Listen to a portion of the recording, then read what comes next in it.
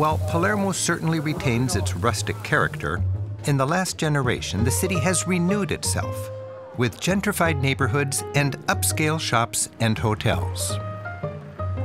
And today, Palermo feels as safe as any Italian city.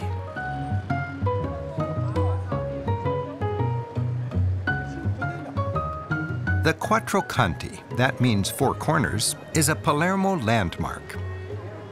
The intersection of two main thoroughfares, it divides the city into its four historic neighborhoods.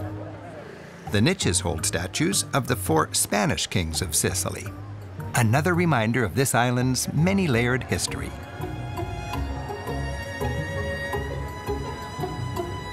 And from here, early each evening springs the ritual of the passeggiata. Strolling from here to the Opera House is endlessly entertaining, offering vignettes of local life and culture.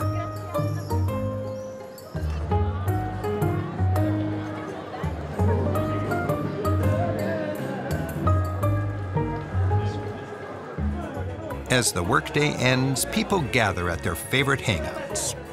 Here at Taverna Azzurra, it's a colorful scene where the neighborhood gang enjoys the same old routine, but a never boring conviviality.